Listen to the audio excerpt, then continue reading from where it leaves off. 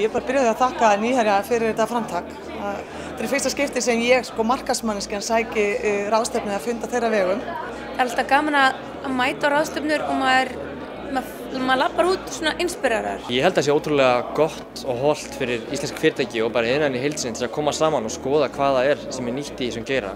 Ja, það sem ég fannst kannski merkilegt og það var tekið aðeins lengra í þessu er að hvernig við getum nýtt okkur öll þessi gögn og hversu öflug og góð tólin eru orðin í raun og veru.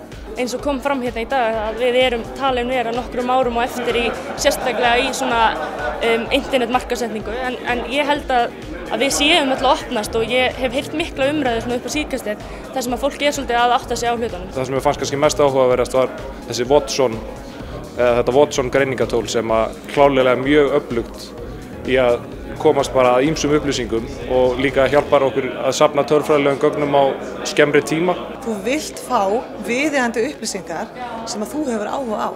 Frekar heldur en að vera að drekka þér í upplýsingum sem að höfðu ekki til því. Þetta var rosalega skemmtilegur og fróðlegur viðbörður. Ég til þetta sé mjög gott að ekki verið bæði fyrir þá og þá sem mæta hinga til þess að kynna sér það sem er í gangi og það sem er framöndan í, í þessum málum. Bara flott framtak, alla staði.